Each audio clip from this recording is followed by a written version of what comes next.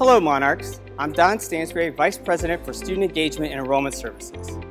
I look forward to returning to an in-person learning experience this fall, with more than 70% of our ODU classes that will be taught face-to-face. -face. Because we want our students to have the best living and learning experience possible, I want to remind you of the change to our student immunization requirements for the 21-22 academic year.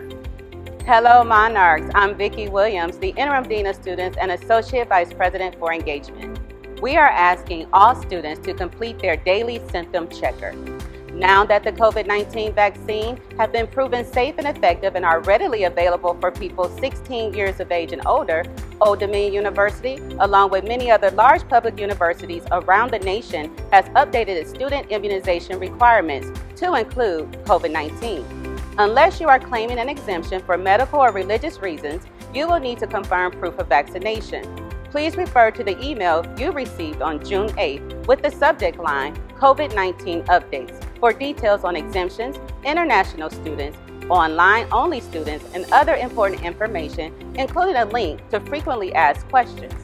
We made this decision following guidance from the American College Health Association and after extensive consultation with public health experts, other institutions around the U.S., with the expectation that the vaccines will receive full FDA approval in the coming months.